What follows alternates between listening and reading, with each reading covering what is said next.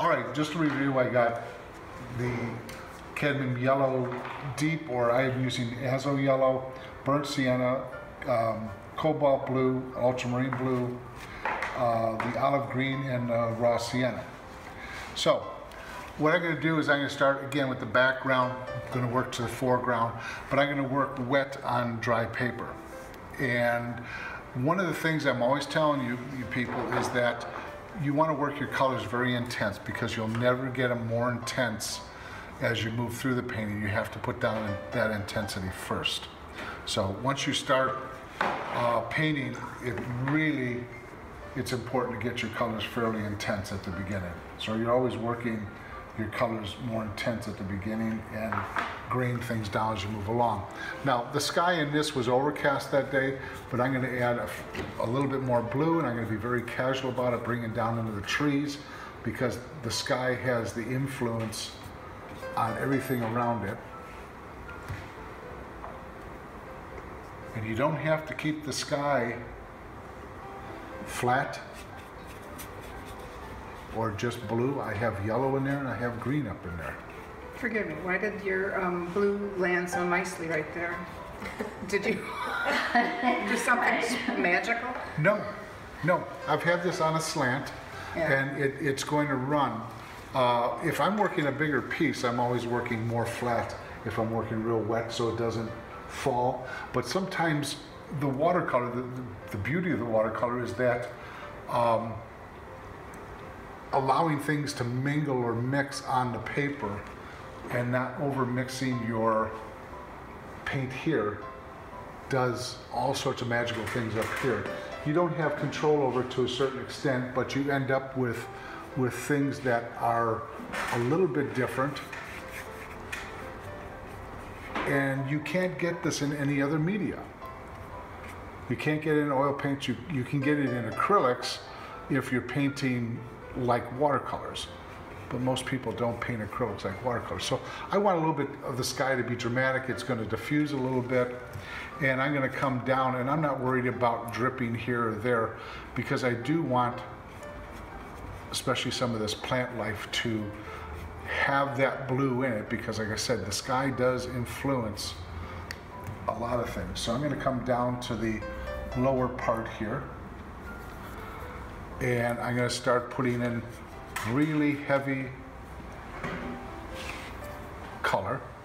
Every three or four brush strokes, I'm going to be changing color or whatever the case may be, or intensities, or value, or temperature. But use a lot of color at the beginning, especially in something like this. This is really why I chose this as a paint along because it has all this great color in it.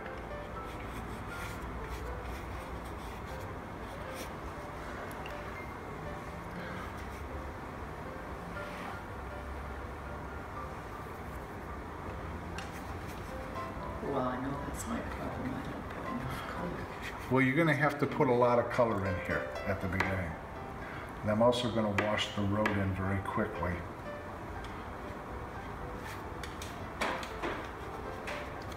And I'm trying to incorporate the color into the road because that will influence it. I'm really inventing some colors here because that's what I do. I don't try to copy the photograph.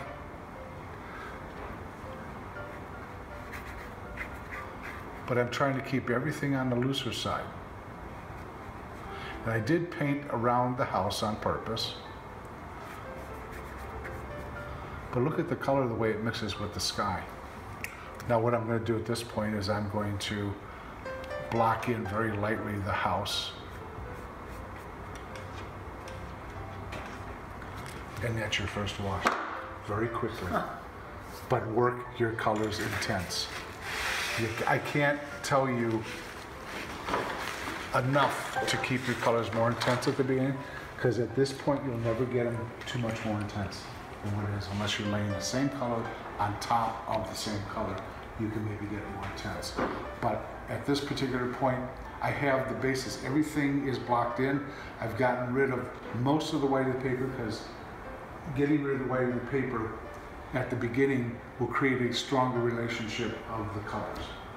Otherwise, if you leave white of the paper, white is cool, and it's gonna throw everything else off. Right. In fact, let me douse this a little bit. So that's what I want you to do in the first wash, Okey dokey. okay?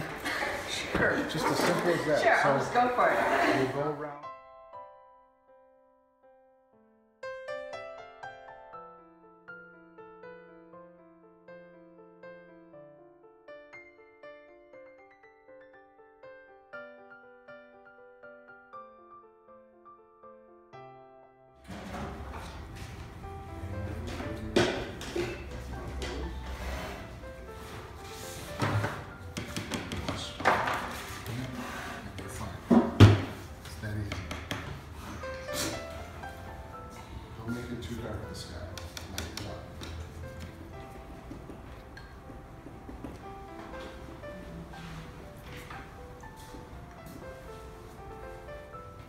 And you don't have to overmix your colors, remember.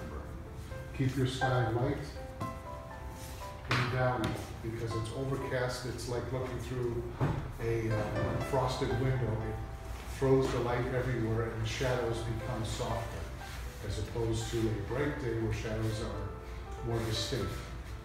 And don't worry about getting the blue into the trees because that's going to help. And some burnt sienna is down in the foreground. Real bright, very intense, right out of the tube.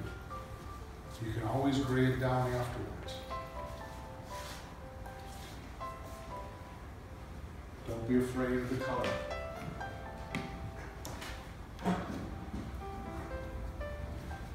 We're doing down here. Yeah.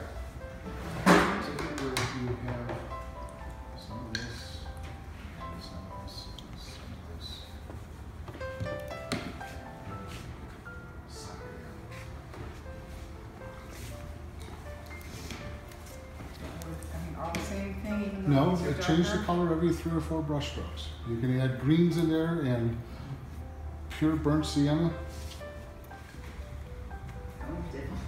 Don't, it's a like technical term in watercolor. Is that Look on your dibble dabble. It's a double double.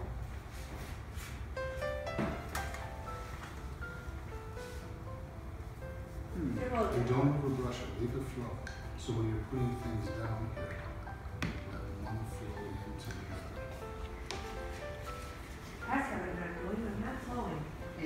Yeah. Flow. actually flowing myself. Yes.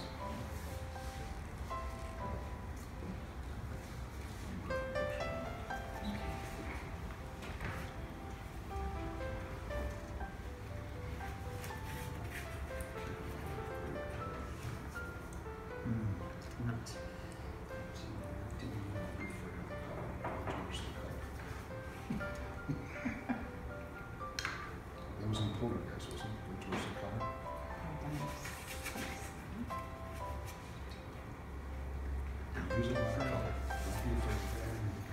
Put a light wash across the house.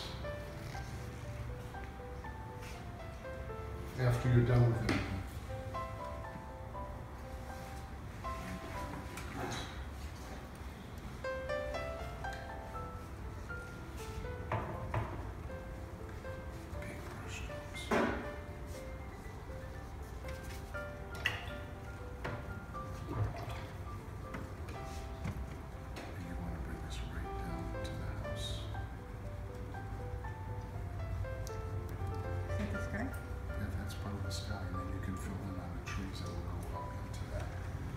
The sky comes down behind the trees, so you want to the sky behind the trees first, because you just to that. But I thought this was gonna be my trees, you know? The Yeah, paint but on you top put of your it. trees in there later after it dries. Okay. And far all this in.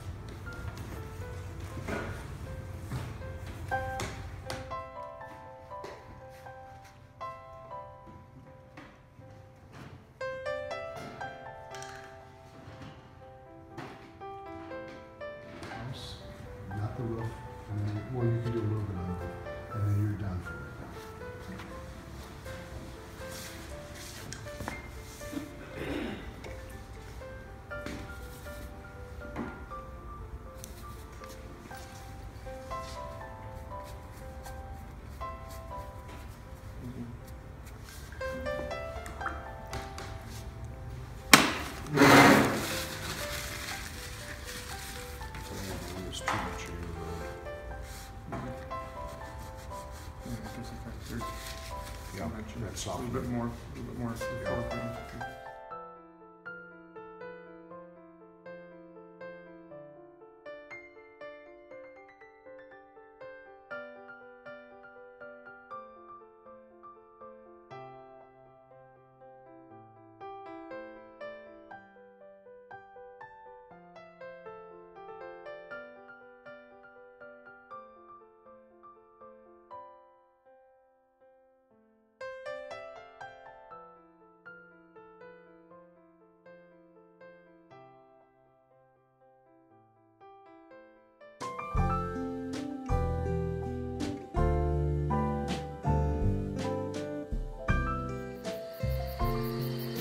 Foreground. Ooh.